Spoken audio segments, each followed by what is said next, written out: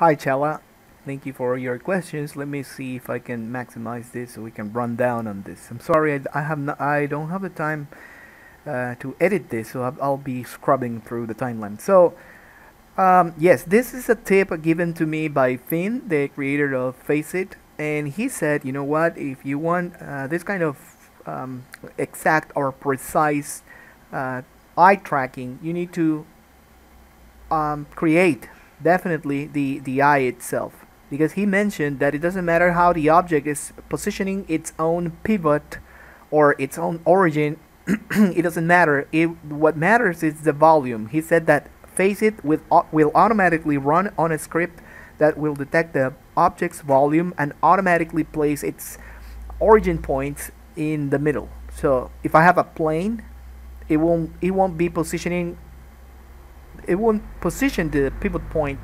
on back far here as I showed on the video. I did that video because there are other workflows derived from it using Rigify, okay? Uh, uh, and this is going to be important later down in the series.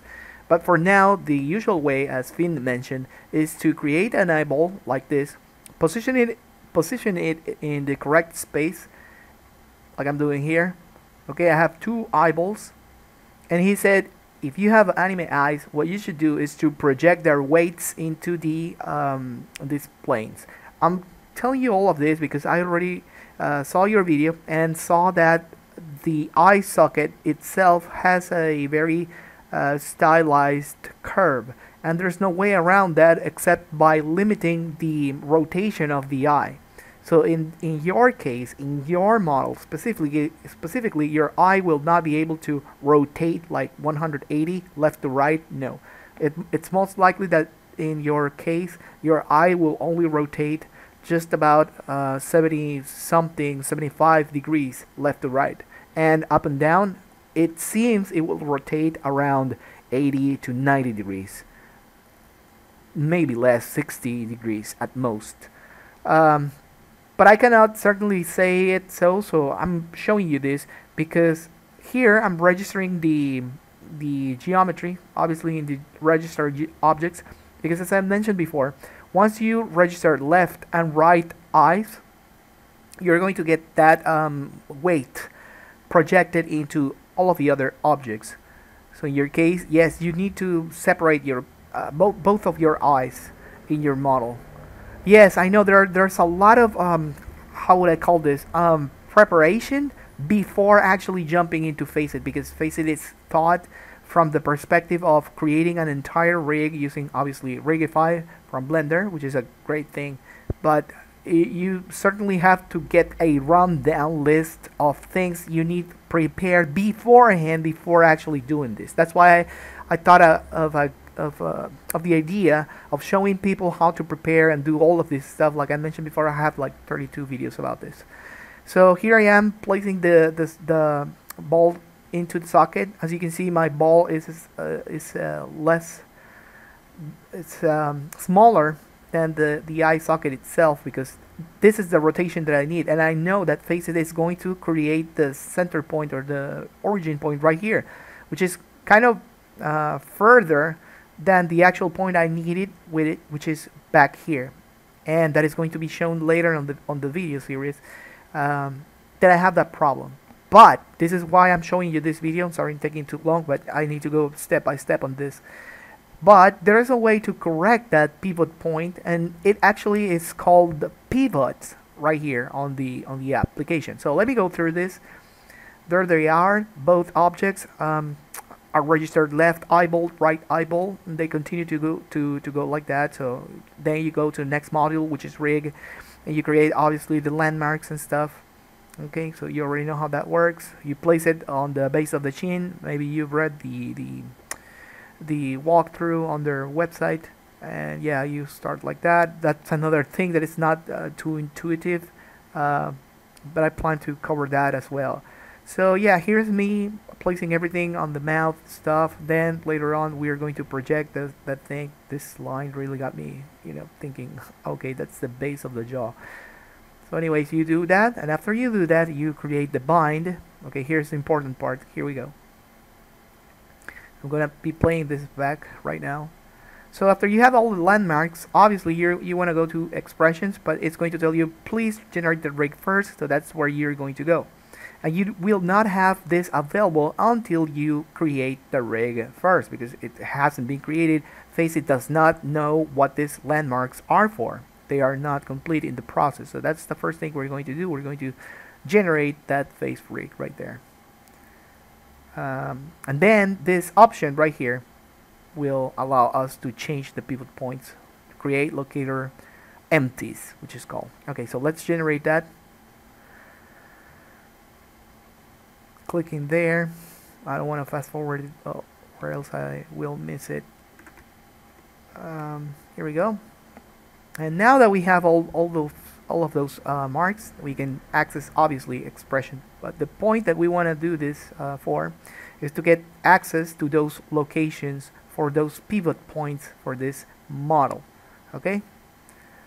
Um, so let's go back to rigs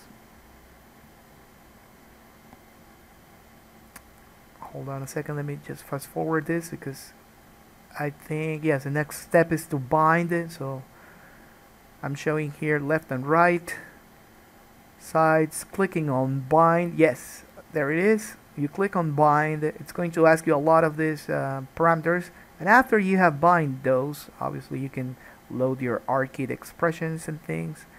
And there you have it. But let's go back into the uh, pivot point thing. Okay, so now that you have generated everything and you have already the expressions loaded and the controls and stuff, you can go back, and this is the marvelous thing about Faceit, you can go back into Rig, let me uh, switch back here to object mode click on rig and now you'll see hold this close up now you can see that you have back to landmarks so we're going to choose that and it's going to ask us uh, whether to keep the expression or keep the binding weights. I'm not going to mark anything because I'm only interested in creating the locator empties. And once you click that, okay, once you click that, uh, you're going to get these um, things, which are the locators for the mouth, for the um, eyes. And since I have two different separate objects, I have two different separate locators. You can see, you can read it, the name right there, eye locator L, eye locator right, uh, because this is what it's going to to do with the uh, the position of the previous objects that it found registered as the eyeballs.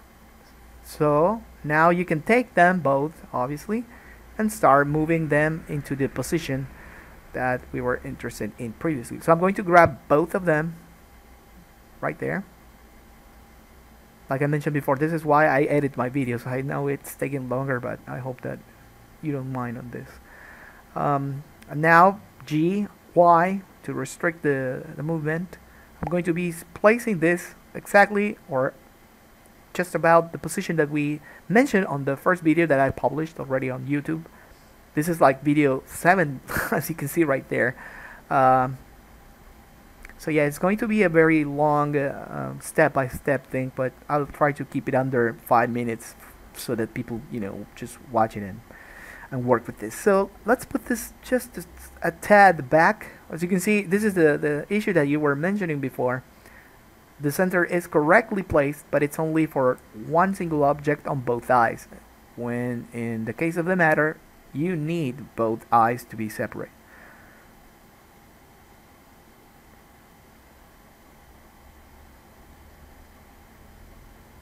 Okay, it has been already over 9 minutes and recording. I'm sorry, I, I will not be editing this, so I apologize. So that's that. And then obviously you locate those um, pivot points or those origin points like I'm showing you here.